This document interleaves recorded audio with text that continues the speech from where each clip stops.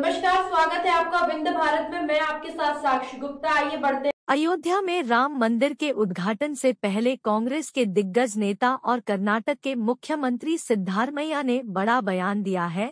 सिद्धारमैया ने ऐसा बयान दिया है, जिसके बाद कांग्रेस के अंदर घमासान और तेज हो सकता है। दरअसल कर्नाटक सीएम ने कहा कि मैं राम मंदिर दर्शन करने के लिए ज़रूरी जाऊँगा और दर्शन करने के बाद अपनी फ़ोटो भी शेयर कर करूँगा। हालाँकि सिद्धारमैया ने कहा कि वो 22 जनवरी के बाद अयोध्या में राम मंदिर के दर्शन करने जाएँगे। सिद्धारमैया ने कहा कि उन्हें प्राण प्रतिष्ठा का न्योता नहीं मिला है। बता दें कि इससे पहले कांग्रेस द्वारा राम मंदिर प्राण प्रतिष्ठा कार्यक्रम का निमंत्रण ठुकराने पर पार्टी के कई बड़े नेता नाराज़गी जता चुके हैं, जिनमें कांग्रेस विधायक अर्जुन मोडवाडिया, आचार्य प्रमोद कृष्णम समेत कई नेताओं का नाम शुमार है। मोडवाडिया ने कांग्रेस को ऐसे राजनीतिक निर्णय लेने से दूर रहने की नसीहत दी थी। वहीं प्रियंका गांधी के करीबी प्रमोद कृष्णम ने प्राण प्रतिष्ठा का न्योता ठुकराने का फैसला दुर्भाग्यपूर्ण बताया था।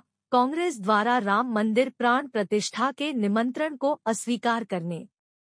पर सिद्धारमैया ने कहा, हम भगवान राम के खिलाफ नहीं हैं। हम सभी भगवान राम का अनुसरण करते हैं। और हम अपने गाँवों में राम मंदिरों के दर्शन करते हैं। उन्होंने राम मंदिर बनाया है और हमें इससे कोई दिक्कत नहीं है, लेकिन वे इस पर राजनीति कर रहे हैं और हम राजनीति का विरोध कर रहे हैं।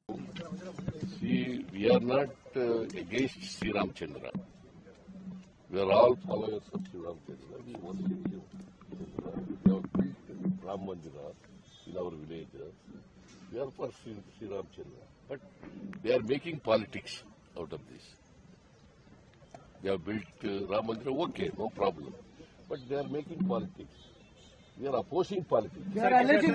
बता दें कि अयोध्या में आगामी 22 जनवरी को भव्य राम मंदिर का उद्घाटन होने जा रहे हैं रामनगरी पूरी तरह से दुल्हन की तरह सजाया जा चुका है वहीं प्राण प्रतिष्ठा की तारीख करीब आने के साथ देश में सियासी घमासान भी तेज हो गया है। ज्ञात हो कि कांग्रेस ने इस भव्य समारोह को भाजपा और आरएसएस का इवेंट बताते हुए कार्यक्रम से किनारा कर लिया। कांग्रेस अध्यक्ष मल्लिकार्जुन खड़गे, सोनिया गांधी रामनगरी अयोध्या जाने से इनकार दिया। कांग्रेस द्वारा राम मंदिर प्राण प्रतिष्ठा कार्यक्रम का न्योता अस्वीकार करने के बाद पार्टी के अंदर ही घमासान मचा।